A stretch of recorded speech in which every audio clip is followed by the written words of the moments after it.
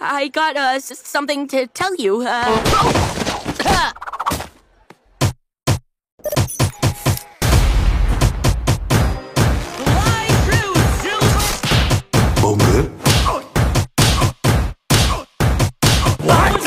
so it's gonna go over something?